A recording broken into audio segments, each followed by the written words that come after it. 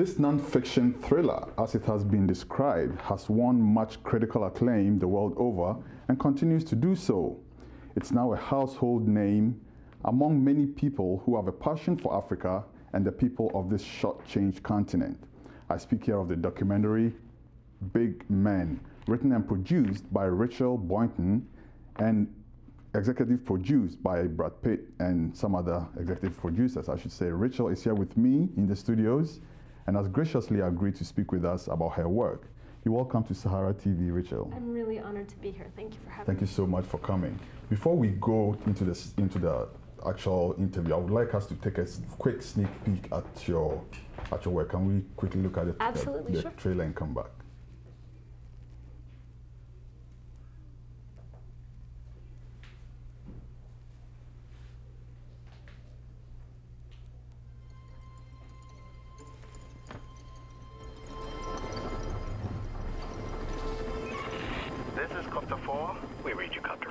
I should be touching down in just a few minutes. This field is going to be worth a lot, a lot of money.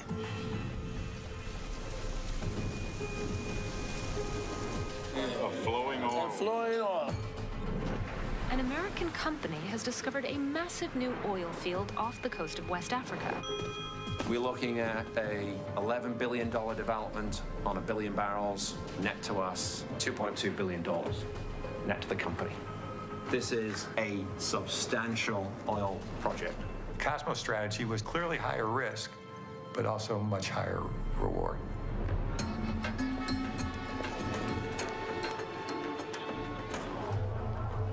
The work you are coming to do in Ghana merits Thank respect. you. We know how important it is for the country, and uh, we intend to do a really good job. So Excellent. you're going to be you're going to be proud of us. We're I going to be proud of you. We're going to be paying out on the pipe. Go about 5%. When there's a lot of money at stake, people's focus gets more intense, and more people will look to get a piece of it.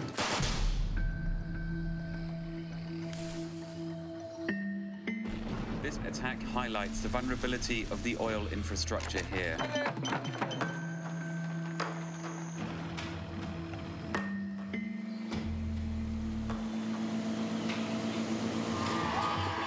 Opposition leaders declared the winner of Ghana's presidential election. The previous government was nice to Cosmos. Certain things will have to change. The goal is to maximize profit, but can you get the cash? Or will there be so many other people and entities involved that you can't earn a profit?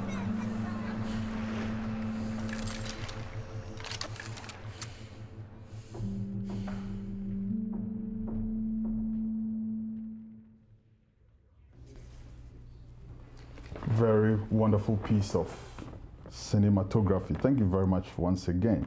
First of all, let me ask you, what, what motivated this, this project? Well, originally, I thought I was going to make the whole film in Nigeria. I heard about this idea that American oil companies were very interested in the Gulf of Guinea. Hmm. And I wanted to go there and get access to an American oil company and tell a story from inside the company. Um, and my original thought was I would go to Nigeria because at the time that I started, back in 2005, 2006, the militancy in the Delta was sort of reaching a peak. And there was a lot uh, of- in the news about oil prices peaking because of attacks. And I thought, well, there could be a really interesting movie to be made there. So that was my first thought. All right, what was the process like though? With what, what was the experience like Of making the film? of making the film? Yeah. Well, you know, I I produced it, I directed it, I carried all the luggage. I, you know, so I I met a lot of people. I I love Nigeria. I learned a tremendous amount from spending the time that I spent there. Um, I mean, as, a, as an experience for me as an individual, it was an amazing experience. It was my mind was expanded by the experience, but it was also very difficult. I mean, you know, there were several film crews that were arrested and deported in Nigeria while we were working there, and that was always a concern. Um, and getting access to all of these people was not easy. You know, Mm. With the security, for instance, Yeah. you actually went into the heart of the of the the militant zone. Mm-hmm. What was it like? it's not as scary as it's all cracked up to be. I mean, i- in the sense that you go into anybody's living room, you want to get permission from the person whose living room it is, right? I mean, you don't walk into somebody's house without asking them first. So it's important when you're going into any environment to make sure that you have the right permissions, that you're you're in contact with people who can sort of tell you how to behave, where to go, where not to go. Mm. And you know, I made sure that I did that. Okay, and what, what about bottlenecks, like bureaucratic bottlenecks and stuff like that? You had journalists, you had politicians, you had militants, like Yeah. you had e- everybody on this project. How did you manage that? It was a. I spent an enormous amount of time traveling back. I live in New York, in New York City. Mm. So I spent about a year and a half traveling back and forth and back and forth like a crazy person. And I met many Nigerians who, specifically Nigerians in the very beginning, who were incredibly helpful to me and very open to the idea of making a film about the oil business there. Um, so that was the first step. And then I got access to Cosmos Energy in Dallas. And once that happened, I started making more connections in, in Ghana and in Accra. And I, I found that politicians there were very open as well. I mean, I think a lot of people are eager to have their story heard. And when they feel like they're going to be listened to and they're not going to be judged, I think people are often very willing to talk. Okay, now the film Big Man is a film about greed. Yes. Not just American greed, also African greed, as I would say, the politicians, Human the greed. chiefs, it's human it's greed, about all of that. humanity. It's a film about people. Totally. What, what's, what in your, your assessment is who really are the, the, the big men? Who are the villains here? Is it the oil companies? Is it the chiefs? Is it the politicians? You know, it's so funny. Somebody, I did an interview yesterday, and somebody asked me exactly that question, Mm. and I, I don't really approach it that way. I mean, first of all, the theory of the film is everyone wants to be big, right? Mm-hmm. And there's a point in the movie where I meet with the Igbema king. And I say, it seems to me like everyone in Nigeria wants to be big. And he says, and you too. I remember that you want to be big. Yep. And I kept it in there on purpose because I really do feel like, you know, it is something that connects everyone in the film. Being big in the film, it means making a lot of money, or it means having a really big reputation, right? Mm. And everybody in the film wants those things. It's not unique to the oil men or the, the government officials. It's, it's about everybody. Okay, now someone in the audience said the film was depressing. Did you set out to make a depressing film? No. um, I, you know, I, I am not a pessimist. I call myself a realistic optimist.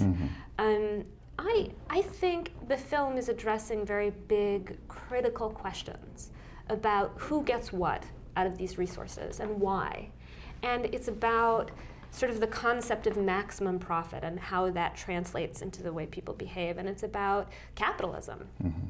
and the way it ends up working out for normal people and for companies and for governments and, and all of these interests and how they collide. And while the challenges are enormous, I, I don't think we have to be depressed about, about the outcome. I mean, I think we just need to, you know, put our nose to the grindstone, as they say, and, and try and change things if we're not happy with them. Okay, so what's what's next? What's next in, in the, first of all, can you tell us how people want to see it? Because there are people in Yeah. Africa who want to see this No, so I badly. appreciate that. I really do. I'm I'm in the process right now of trying to organize screenings in Ghana, Mm. hopefully in the next few months. I want to figure out the same thing specifically in Nigeria. Um, it will eventually be available, you know, digitally and otherwise.